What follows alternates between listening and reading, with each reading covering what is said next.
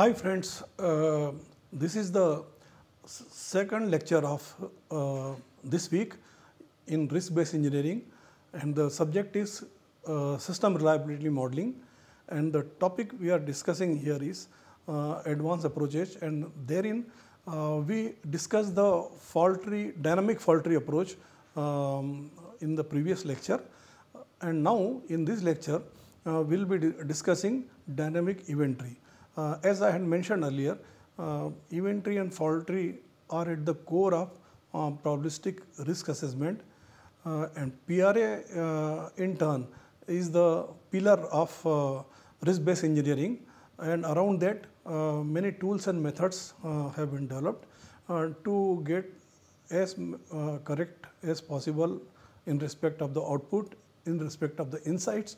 So, um, I can, I can uh, imagine um, any scientist or researcher who was dealing in uh, uh, static tree modeling, uh, he would have had a uh, desire that uh, each event or each response of the plant takes allows in the static uh, only to go to the two state that is success state and failed state.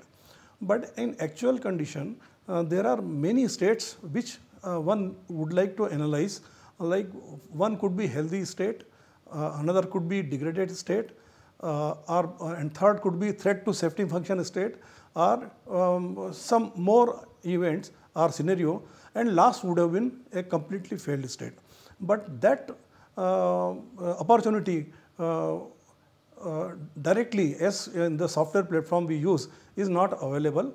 So, here dynamic event tree, um, uh, even though it is a um, dynamic in the sense that the way it captures for fault tree uh, the dynamic uh, scenario in time and uh, spatial domain both, it also allows consideration of many more events that we will see now um, when we come to our discussion. The branching of the nodal point in the static event tree is binary, either failed or operating, as I had mentioned, and is governed by success and failure criteria. Then accident scenario evaluation for real-time situation can be modeled more realistically with the treatment of scenario in temporal domain as well as uh, spatial domain um, and more branching with more branching, more than two bran- branchings. Uh, due to the nature of dynamics, the number of event sequences uh, can be complex and very large to the extent they might pose a computational constraint. So, uh, in event tree also the kind of limitation which was there in the fault tree because of many combination of events computational uh, limitation might be a problem, but again let us see uh, what is the limit of that and try to address as many scenario as possible uh, because if, if you want to go get to the reality. Okay. Uh, we will consider the simplified methodology of dynamic event tree modeling um, by uh, I think it was developed by one of our uh, Costa and Siu uh, to illustrate modeling of the dynamic event tree in this section. The dynamic event tree uh, methods has been discussed to present the essential feature characteristic of dynamic event tree and here the model uh, the eventual objective will be to get a spectrum of accident sequence conditions. And there we might be in those conditions which are relevant which are not relevant or safety significant. But then we want to get as many spectrum as possible so that we have that confidence that no scenario has been left out. Because each scenario available it gives a, uh scope of window uh, for plant operation to sort or see the possibility of a certain uh, scenario where they can resort to to uh, work on the plant during, during emergency condition. Uh, salient uh, features of the dynamic tree are given in this uh, uh, presentation.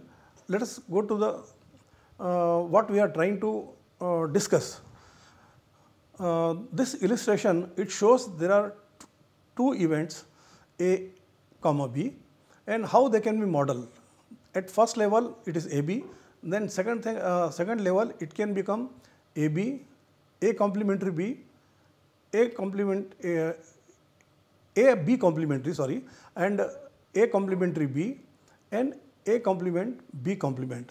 Now, if I take each node here, that is AB, AB will give us give uh, give me uh, rather here we have designed it for four events. Uh, rather co combinations are four because one event and its complement. So it will give us four scenario. So AB which is common to all the uh, branches here and A complement B and then A complement B, uh, A complement B complement uh, like that. And then for A, compl A complement of B, you will give AB, A complement of B, uh, A complement B, A complement B complement. So, like that we have 16 uh, end states over here. Um, in real time there are more systems uh, than two systems. So, one can imagine if there are 12 safety system support that includes support system and all that. So, how many we are managing with two events. So, uh, this may need a state explosion you know each branch, branch is giving uh, a, uh, giving an accident sequence and in nutshell it is giving a state. So, DET as the experience suggests is computationally very demanding and requires that formulation of function and set of associated variables. So, uh, what is the way forward? A lot of R&D is going on and uh, very computationally efficient methods are being developed uh, and uh, prob probably we hope uh, that in the coming time uh, this situation will be resolved and we will be having our in fact, even if we take, uh, take in static mode, our each event tree runs uh, in, in, the, in pages uh, and, uh, and then we have something like 1000 uh, to 2000 accident sequences and that we reduce by categorization into some number of things and all that. So, uh, with these things we will have even though we will have a seamless event sequences, um, but then uh, the work also will increase or that work of segregation also will have to be done um, uh, in a computerized methods. So, typical characteristic set um, for event tree characterization now we have seen a simple uh, uh, dynamic event tree. Now, uh, let us see what are the uh, different characteristic conditions, nodes, status and all that. So, let us say first we discuss branching set. Plant parameters condition that determine the status of a plant and safety function operator identification of the status and the proposed action in response to plant diagnosis. So, this is expressed by branching sets. Okay. So, uh, let us say XA, XB is the branching set. Okay.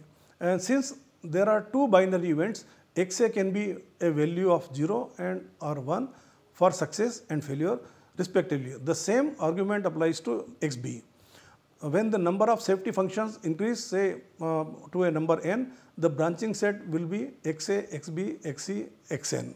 So, that many branching sets will be there, there with us. Now, uh, let us see how plant status is uh, characterized in the dynamic event tree. So, it is defined by branching variables and plant process variable. Uh, how it is defined? Uh, each uh, branch in the dynamic tree uh, has an end state and frequency associated with. In tree, uh, we give the uh, characterization of the accident sequence by number or by name and then by its frequency or simply by cut set, cut set name and its frequency. Uh, and that is characterized by uh, XA and XB. The probability of respective end state that is the plant state determined by that branch under consideration. For example, for two systems, there are 16 end states. We saw in our illustration uh, previous slide, there were 16 end branches uh, that lead to four plant states. There were four uh, branches from the emerging from the first um, uh, first uh, bifurcation. The plant stress grow geometrically with number of safety functions. So, um, the plant state working out uh, is a, is a job uh, which requires uh, computer uh, computational efficiency in the dynamic tree. And then branching rules. What should be the rule for branching? branching occurs at fixed point in time. This is one rule. Okay. Now, it can be related to some equipment also. So, let us say uh, time t1 and 2 for t2 for x1, xa and xb that we have we have uh, said. However, keeping in view the requirement of specific problem, the rules for branching could be for example, change in status of the safety function. So, uh, if one safety system fails, the branching will go switch over to the next uh, next uh, second safety uh, system B or an event enforcement externally. One safety system, let us say ECCS has failed, so manual injection should occur, should occur and that should be reflected by the event tree. Generation of DET uh, requires algorithm to interpret this information from plant variables.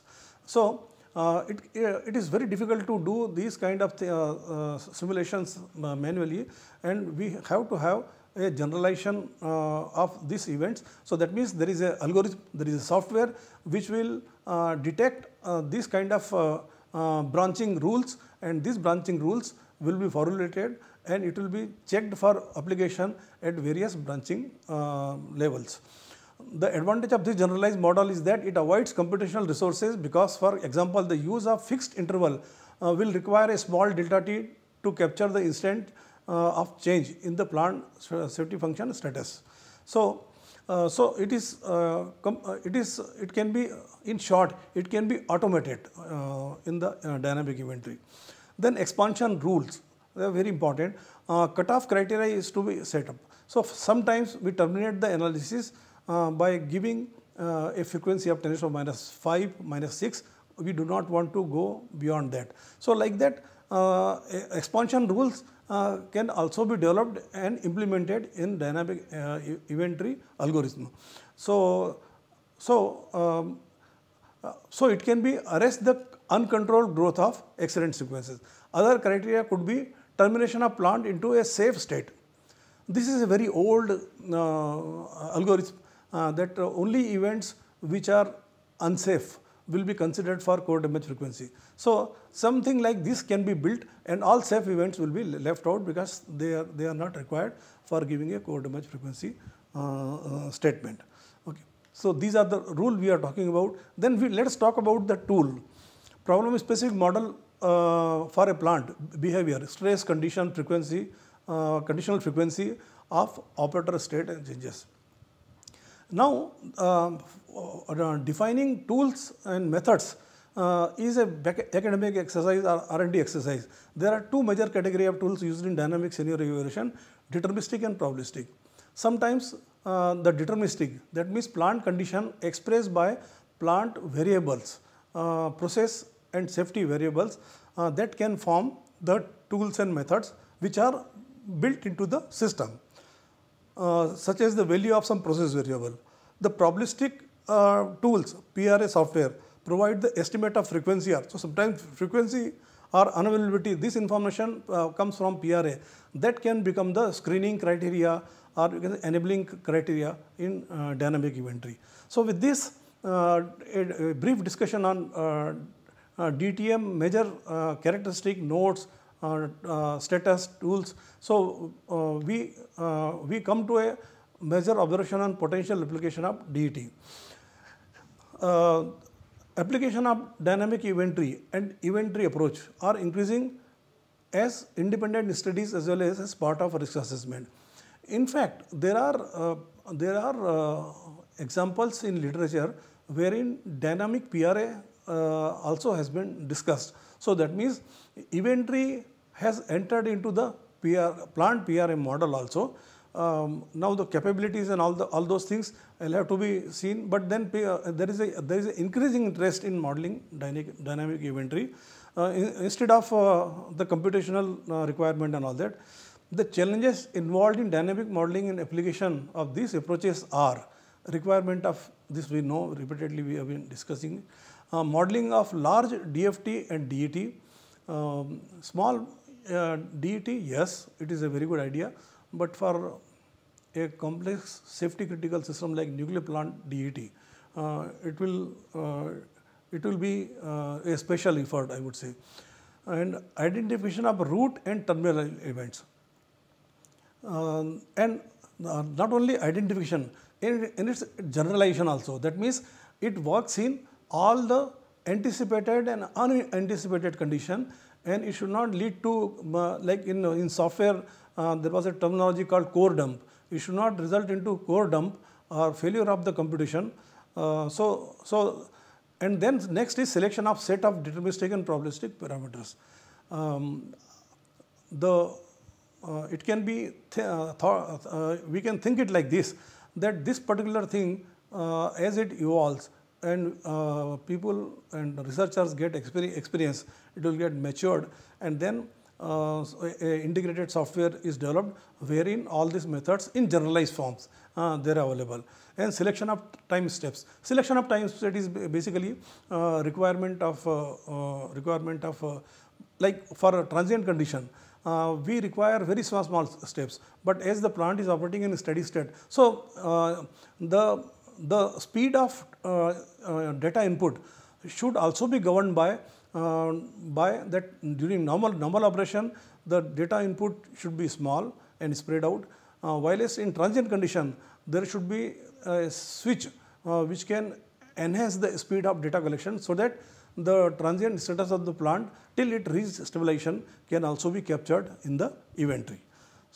the binary decision diagram BDD uh, abbreviated is uh, was uh, introduced by Bryant in 1987. So, uh, and in 1993 he proposed um, Rauzy, he proposed a application of approach to fault tree analysis.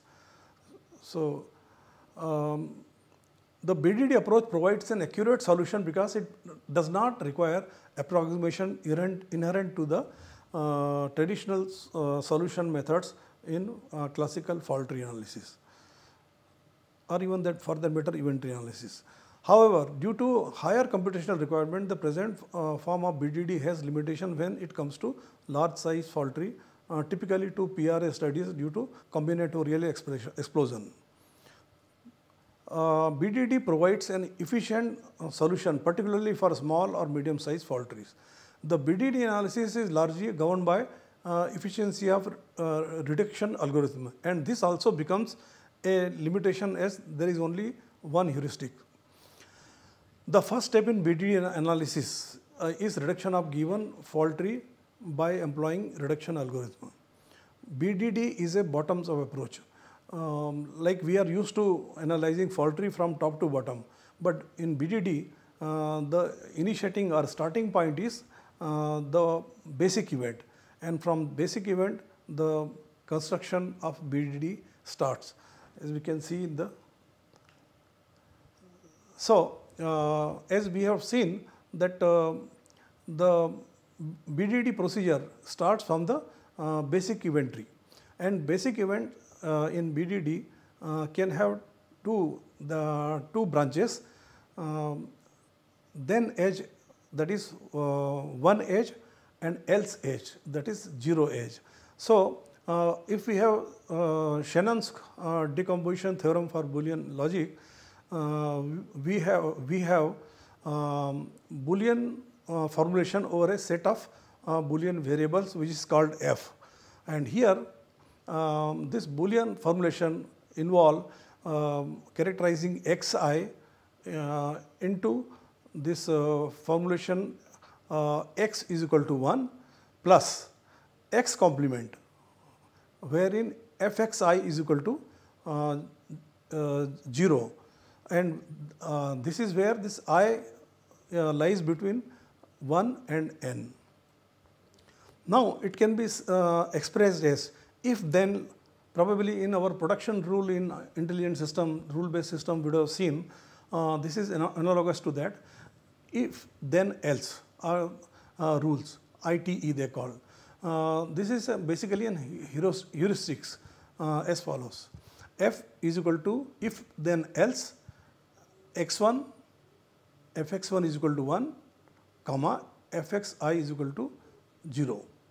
And here if we translate into our uh, binary node, uh, it gives then edge uh, which is 1 edge and where x x is equal to 1 and x x is equal to 0 um, which is called else edge or 0 edge. So, we have one edge 0 edge where x uh, is uh, uh, assigned the value of 1 and another uh, else edge uh, it is assigned the value of 0.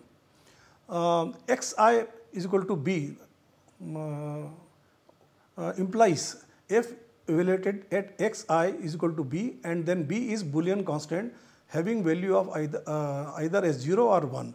Shannon's decomposition has uh, then edge as 1 edge or else edge as 0 edge uh, as shown in the figure. So, this is basically fundamentals of uh, uh, Boolean formulation uh, that we have come to wherein Shannon's decomposition they translate um,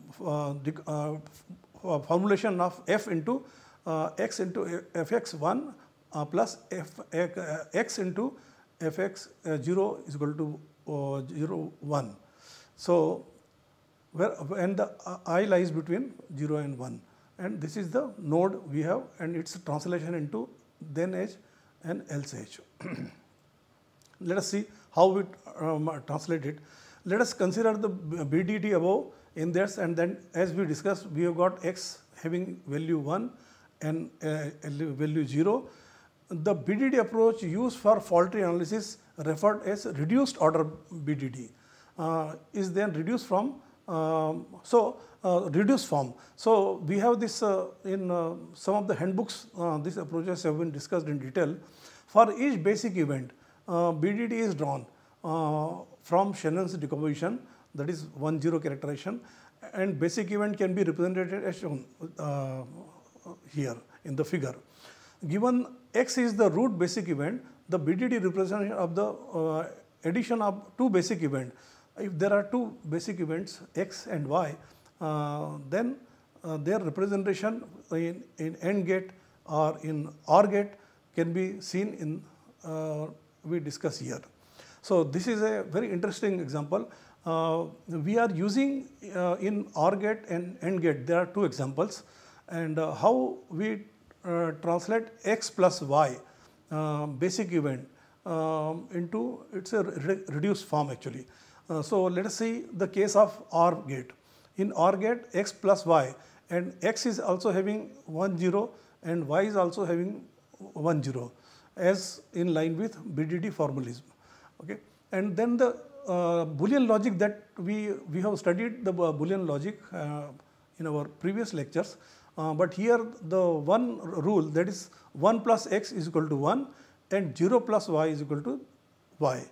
So, so uh, now if we have these events uh, further it x has got 1, 1, 1 0 and it, it gets uh, interacted with y.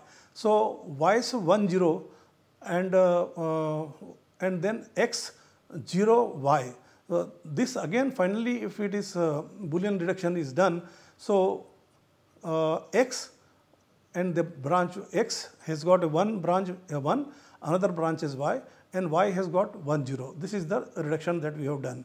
Similarly, for AND gate we have s uh, per Boolean reduction logic uh, uh, 1 into x is equal to x and 0 into y is equal to 0. So, this is basically uh, basic fundamental uh, Boolean law which will be playing out over here. So, x multiplied by our AND gate uh, y, a and y um, both have uh, branches 1 0 uh, for y also we have 1 0 and then again the interaction start with the uh, x interaction start with the y in a product form and then we have product and finally y has are reflecting on both the branches and we have y 1 0 uh, 1 0 but the interaction are y into 1 and y uh, into 0 so that again further get reduced to x y and 1 and uh, 0 branches are there um, uh, on the other side actually. So we have seen the AND and OR reduction and this is basically um, for generating the reduced uh, fault tree for uh, part of BDD okay now, let us take the example, uh, real time example. First step is to reduce or simplify the fault tree. Uh, so, when we take up this BDD uh, diagrams, uh, uh, first you re reduce the fault tree. So let us say one of the simpler, simplest approach in reducing the fault tree is um, xy plus xz is equal to t top event. So if we look at the fault tree, we have uh, we have t uh, and then OR gate is the operational gate and the branching happens for two AND gates. So on uh, first that is left side AND gate we have x and y and right side AND gate we have x into z. Okay. So now if I have to uh, if I have to do boolean reduction we have t is equal to x into y and on right, side um, plus x into z because there is a OR gate in between. So, t is equal to xy plus xz. Finally, if I take x common then it becomes uh, uh, t is equal to x into y plus z. So, uh, we can see here the reduced fault uh, reduced fault tree uh, wherein uh, this, this reduction can be seen and we have t here it was a expanded fault tree, now it is a reduced fault tree and here T is uh, uh, X which is here and the other branch is OR gate X plus Z. This uh, Now how we do the Boolean reduction? So we have X into Y okay, and Y into Y and this is connected with the Z. So, if we can we can like 0 1 logic or 1 x logic we can have uh, x uh, 1 0 okay and then y z and on other side a branch 0 branch we have y z is equal to again the same thing and finally we get a output x y z uh, in uh, with one branch they are beating and this is uh, how we uh, reduce the Boolean fault tree. Okay. Uh, the above example illustrates the broad procedure involved in deriving BDD from reduced fault tree x plus yz.